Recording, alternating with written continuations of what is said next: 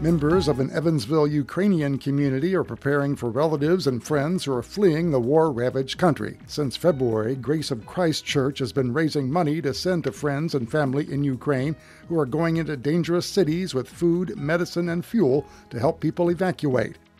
An Evansville law firm says at least six women may have had a doctor get their personal and medical information without their permission. On its Facebook page, Leydendorf Law says the women received letters from Deaconess Hospital that said a physician had accessed their medical records after meeting them at Evansville bars.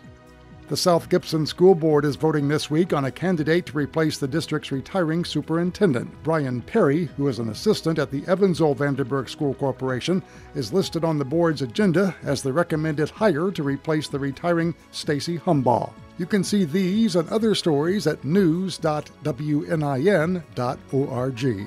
I'm John Gibson.